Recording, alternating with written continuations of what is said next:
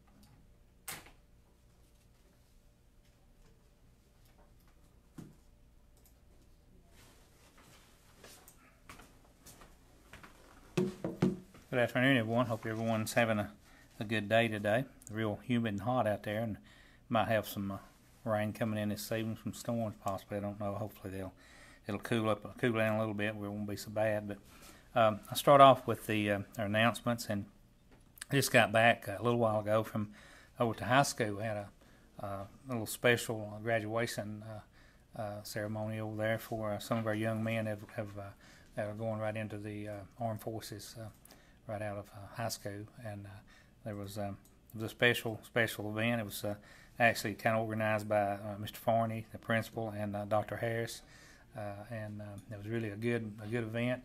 We had our um, our post uh, uh, people down there from our the military post here, and they did a really good job. They did the flag folding ceremony uh, it was really uh, you know very special. And then they did the 21 gun salute outside afterwards. So it was really um, really special. And Evan, uh, they were there. They they were streaming it, and that, he's going to start running it I think tomorrow.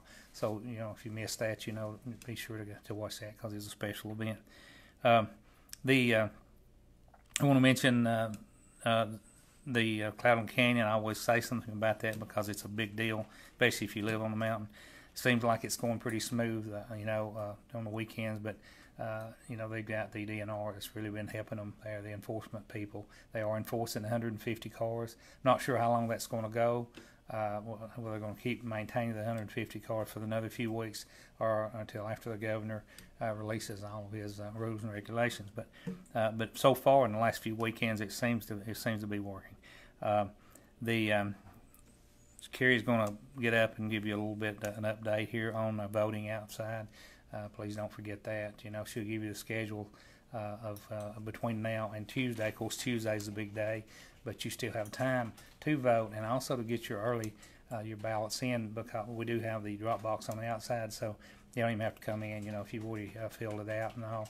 Uh, seal the envelope, go by 24 hours a day. You can drop it down out there. They do empty those twice a day we are going to have our uh, com- uh, commission meeting tonight.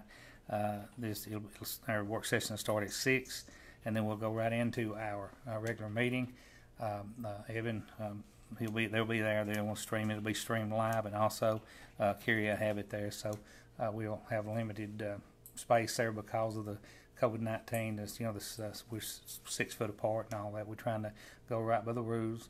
Uh, and uh, you can watch this live, uh, you know, and if you right from seat from home, or if you want to come down, come down, and we'll try to seat you know. But when when it gets full, you know, we'll have to, I guess, stand out in the hall. I don't know. we've not. Uh, a lot of the uh, commissions in the state are doing uh, actually doing a internet meeting, you know, through Zoom or whatever. we have that option under an emergency, you know, but we, we don't feel like we need to do that. I mean, we're uh, you know, we're small, and small county, and so. Um, but um, it started. It'll start tonight at six, and like I said, we'll go right into the meeting after six o'clock, uh, the uh, work session. Um, Road is still closed. Going to be closed till June first, July till July the fifteenth. I'll throw that in there. I know we've said that several times, but there's still some people that don't know it until they pull up there. Uh, I want to mention again today, yesterday we got really good news uh, from our nursing home. We've been kind of holding our breath, and I know they have too, and a lot of the families. Uh, but they uh, all came back, all the patients, uh, all, all the residents, I'm sorry, and, and the staff, and they're all negative. So there's not uh, uh, COVID 19 right now does not exist in the nursing home as of yesterday. So that is really great, great news. Um, we have opened our ballpark parks up, all but the ball fields. They're they're working on the the dugouts and all now from all the storm damage, trying to get that that finished up and get it back. Uh, but you uh, you know you can go down. We've got the tennis court open, uh, basketball court, pickleball, and um, also uh, you know the walking track. Course, it's uh, it's open also. And so just go out, you know, and enjoy yourself. But we do ask you. We'll be posting signs down there. I think they may have got them up today, but to you know really try to go strictly by the rules as far as you know the um, actual distancing and and the groups. I think now we're 25. You know, but even even the group of 25, you know, use common sense because you know this uh, this thing's not going away. You know, COVID-19 is still here in the county, as you'll see by my report here of numbers. You know, they, we, we we're fortunate we've not really went up drastically, drastically, but we do. You know, we have every day. It seems like it's been going up. Um, the uh, testing downstairs at the health department mention that every day, but we do have a change in that.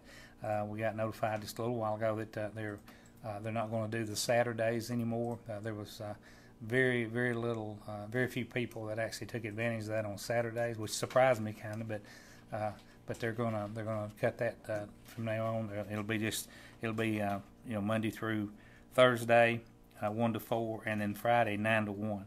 And so that's that's downstairs. That's the swab test, free, real real quick. You can get in line, or usually there's not a line. Just pull in. Um, they'll fill a, you know fill a little form out there, it, uh, and you go right on through. Don't you don't have to get out of your car. Like I said, it don't cost anything at all.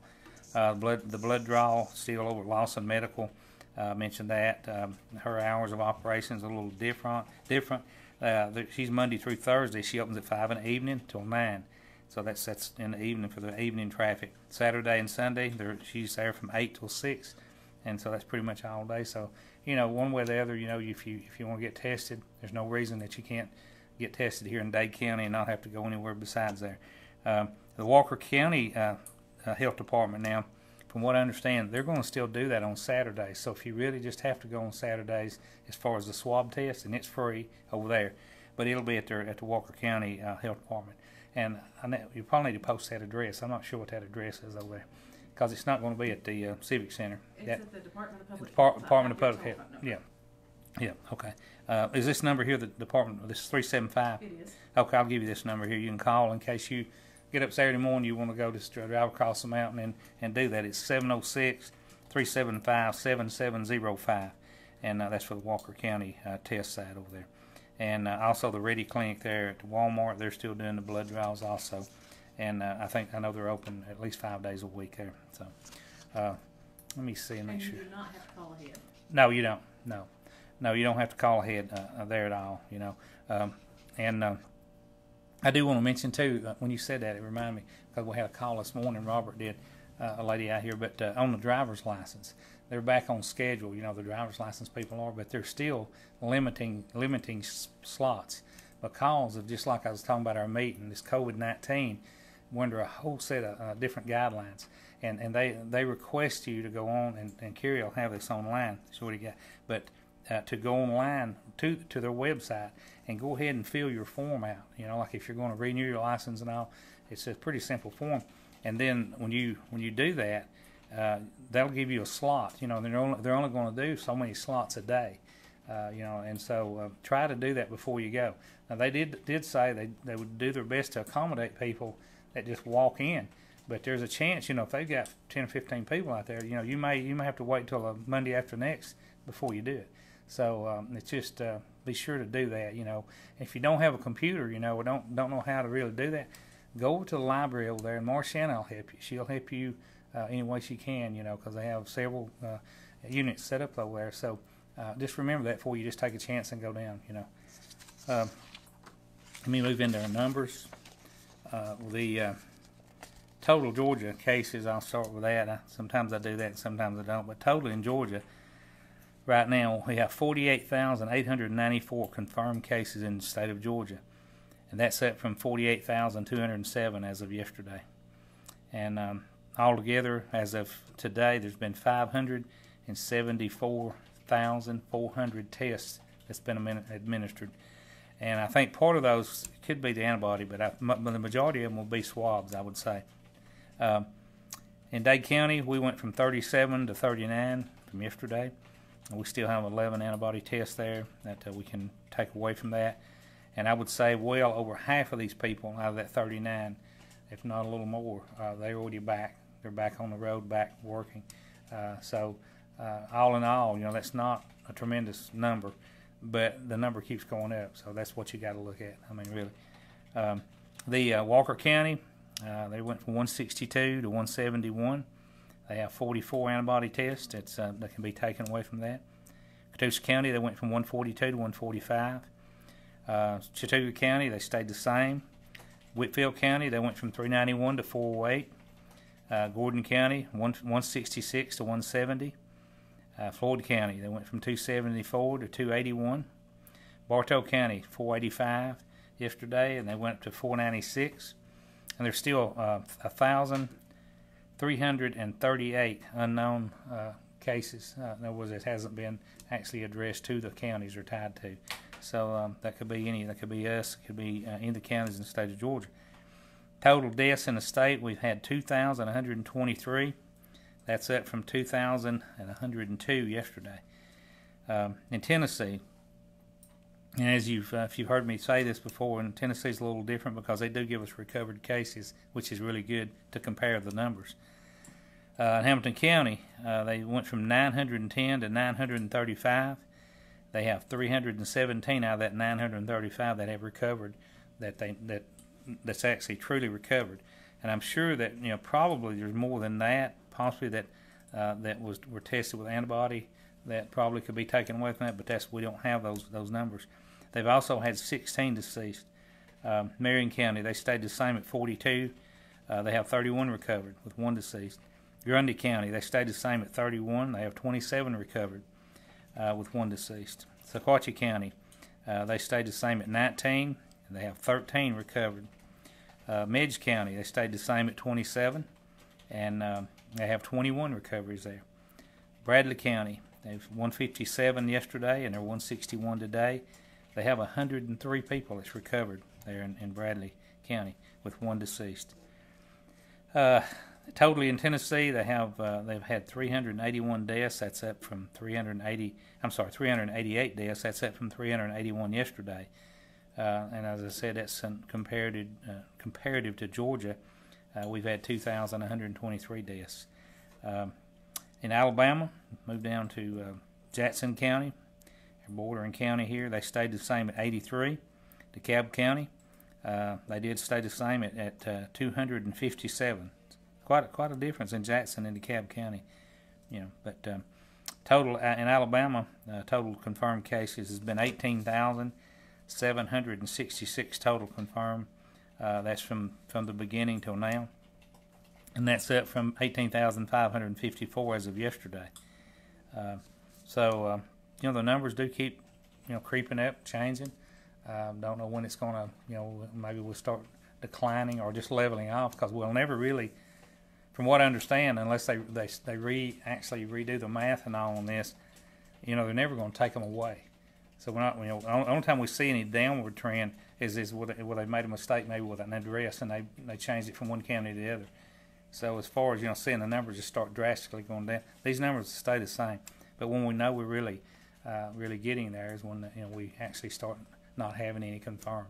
Uh, so anyway, just uh, just bear with bear with us on this, and uh, like I said, we're going to give you these reports uh, daily, five days a week, and until the uh, what was the date? The twelfth, isn't that right? Yes, the 12th. Till June the twelfth. That'll be the the week of June the twelfth, and that's when the governor will relieve the stay-at-home order, you know, for our elderly and all.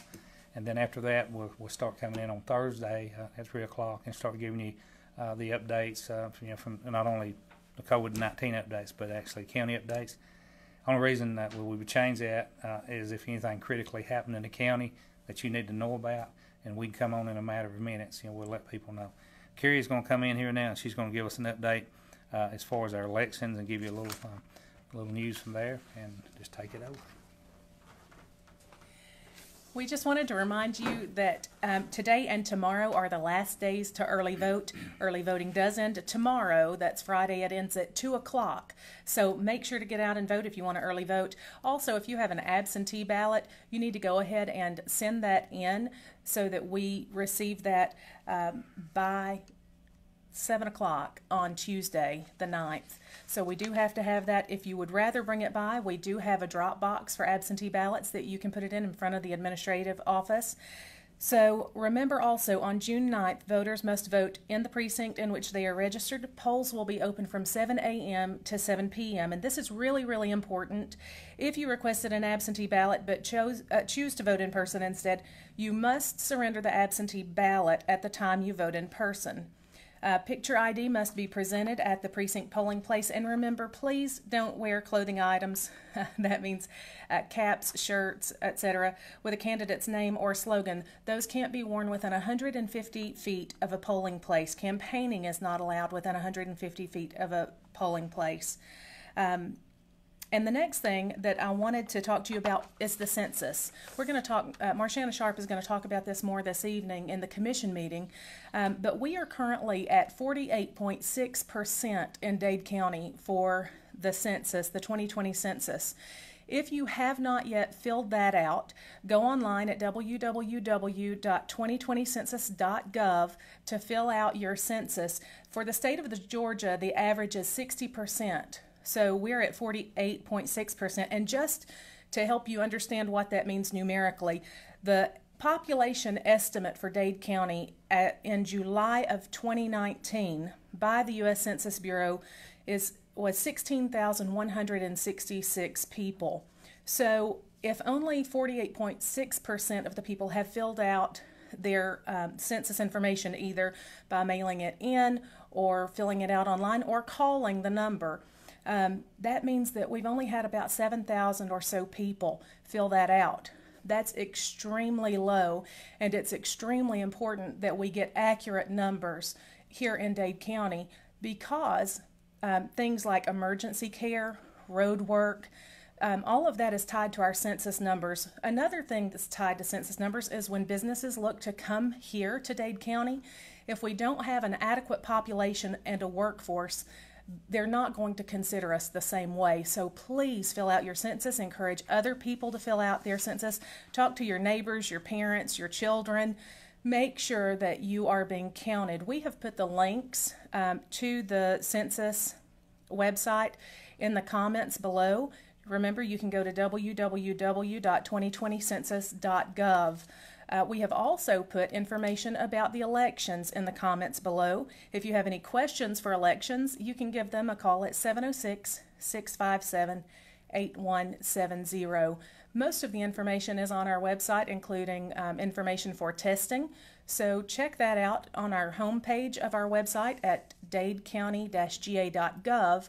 If you'll scroll about halfway down the page, you'll see uh, some tabs, and one of them is COVID information. The second one, I believe, is elections, and the third one is what's open and what's not. That has your information to the Department of Driver Services, which we've also put a link for in the comments. So we do appreciate you guys watching us. Remember to get out and vote. Early voting ends tomorrow at 2. Thanks. Okay. Thank you, Carey. That, that kind of winds it up today, but uh, uh, talking about the voting, regardless of, of who you vote for or whatever, please get out and try and, and vote between now and Tuesday. Uh, so it's, uh, it's one of the most important things really you can do as a as a citizen, you know, and, and as a taxpayer. So uh, keep that in mind. But we'll be back tomorrow at three o'clock. And uh, if you got any questions, uh, as always, you can call my cell number six six seven eight nine nine nine, or you can get online there. You, uh, Carey's real easy to get a hold of.